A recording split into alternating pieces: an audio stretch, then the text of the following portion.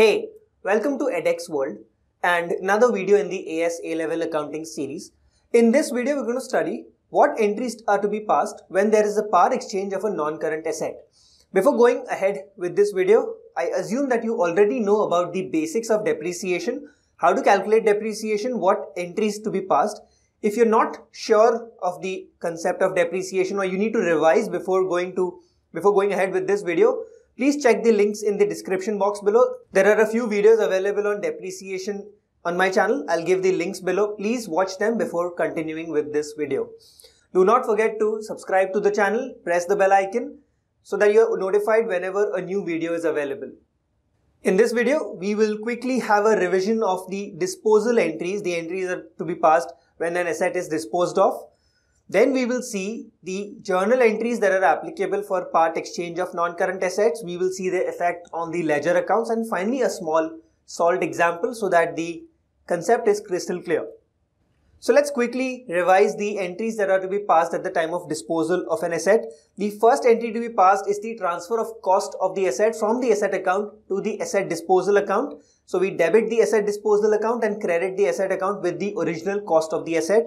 The second entry is about the transfer of the provision or accumulated depreciation on the asset that is sold to the asset disposal account. So we need to debit our provision for depreciation account and credit the asset disposal account with the accumulated depreciation on the asset till date. Accumulated depreciation on the asset till date means total depreciation that has been provided on the asset that is disposed of till date. The next entry is about recording the sale value of the asset. When an asset is disposed of or sold, either cash is received, check is received, or at times it could be on credit. So the entry to be passed is cash debit, bank debit, depending whether cash is received or check is received, asset disposal account credit. Here we are recording the sale value of the asset that is disposed of. And finally, the difference in the asset disposal account will help us calculate the profit or loss on disposal. Or we could also use a formula where we deduct the net book value of the asset from the sale value. If the sale value is greater than the net book value, it's a profit. If the sale value is lower than the net book value, it's a loss on disposal. Now, the same set of entries are passed for the part exchange of assets. First of all, let us understand what do you mean by part exchange of non-current assets. See, one option is to sell your old asset individually and then go and buy a new non-current asset so that you can continue your operations. Another option is to buy a new non-current asset and give away the old non-current asset in exchange for the new non-current asset and the difference might be paid in cash or check. Obviously because the value of the new non-current asset would be higher in most cases than the value of the old non-current asset. So all the entries that we've seen for disposal of asset would be applicable for the part exchange of non-current assets except for the third entry which will change. So in when, when we are exchanging an old asset for a new asset, the third entry is replaced with a new entry. Unlike in a normal disposal transaction, when, when a part exchange transaction is happening, we do not receive cash or check for the old asset. So it, there, it does not make any sense to debit cash or bank account. Instead, we receive a new non-current asset in exchange for the old non-current asset. So the first step is to debit the asset account that the new non-current asset that we are receiving, the debit that asset account with the cost of the new non-current asset. The second step is to credit the disposal account with the value of the old non-current asset. The other party, the supplier has attached certain value to the old non-current asset that will be deducted from the price of the new non-current asset that will be credited to the disposal account. Why credited to disposal account? Because that's a gain for the business. That's benefit for the business. So it will be credited to the disposal account. And the difference between the cost of new asset and the value attached to the old asset will be paid either by cash or check. Hence cash or bank account would be credited. If the asset is bought on credit you could debit sorry you could credit the supplier account as well so this is the final entry that is passed for the part exchange transaction.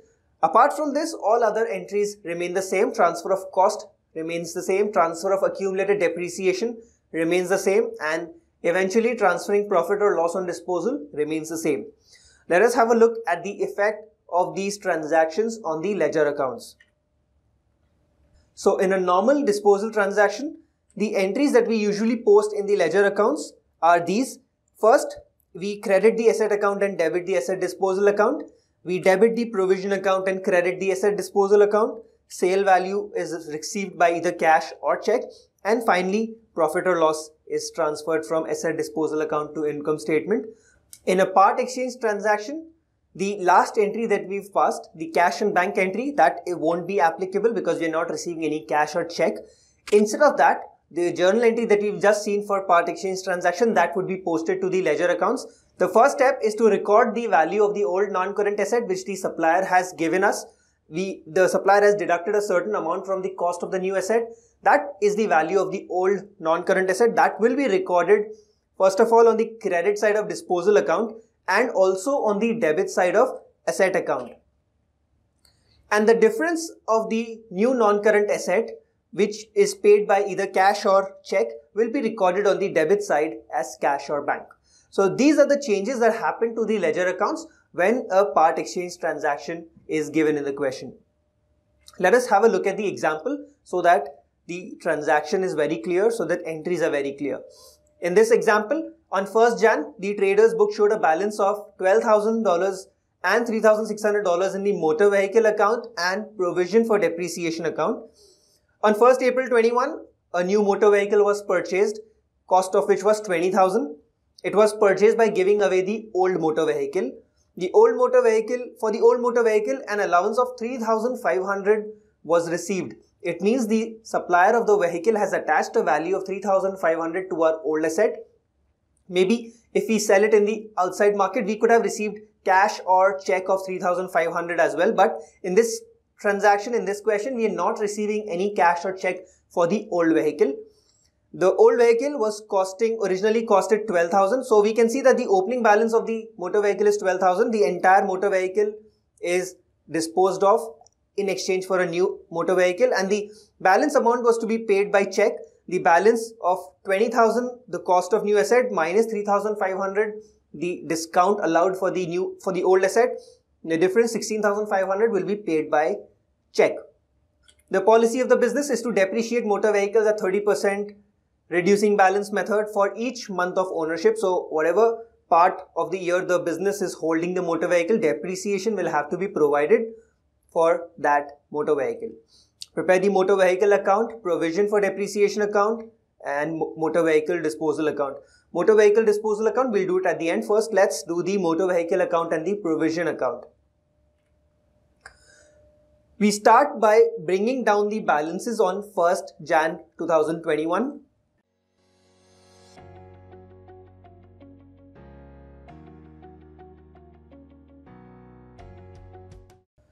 On 1st April 21, the old motor vehicle was given away. So there's a there's a part exchange transaction. So on 1st April 21, we need to credit our motor vehicle account with 12,000 to show that the old motor vehicle that was there in the opening balance as 12,000 has, has been disposed of, has been exchanged for a new motor vehicle. On 1st April 21, on the credit side, motor vehicle disposal account 12,000.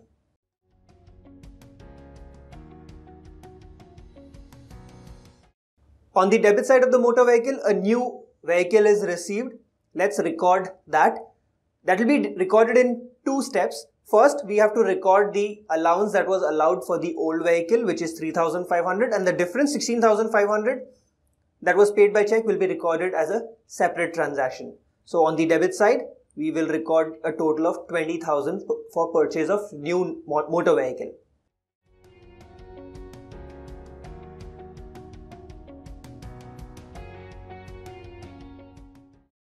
So this way we've completed our motor vehicle account. Let us balance the motor vehicle account and go on to the provision for depreciation account.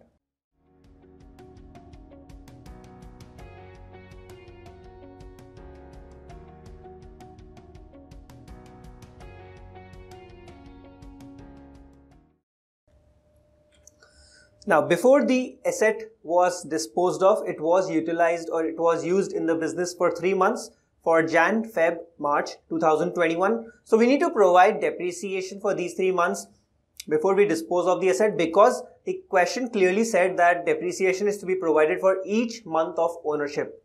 So let us give the depreciation on 1st April 21 before we dispose of the asset.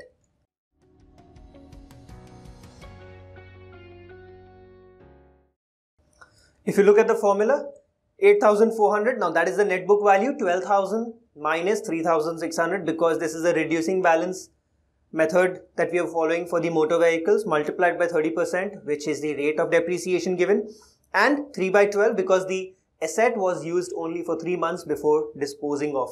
What we get here is $630.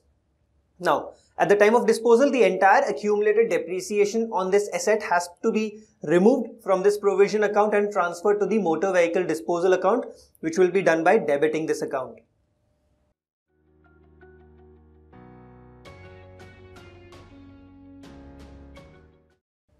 So the entire accumulated depreciation of 4230 has been transferred to motor vehicle disposal account. Then on 31st December 2021, which is the end of the year, we'll have to provide depreciation on the new motor vehicle that was purchased during this year.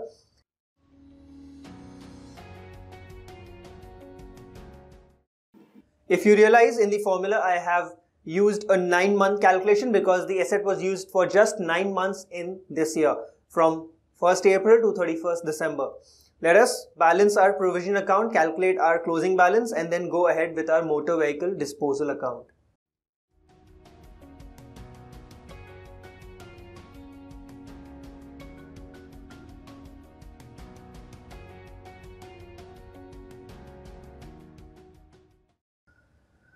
So in our motor vehicle disposal account, all entries are same that, that we usually follow for disposal transaction except the part where we usually receive cash or check that will be replaced by a new non-current asset.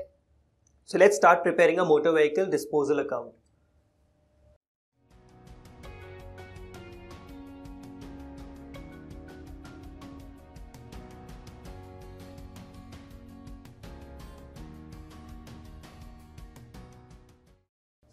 So if you realize instead of cash and bank, I have written motor vehicle because that's the new asset that we've received instead of physical cash or money in our bank account. All the entries in motor vehicle disposal account are done. We need to calculate a profit or loss on disposal. Clearly, the there's a loss on disposal here. So let us take a total on the debit side and transfer the loss in this account to the income statement.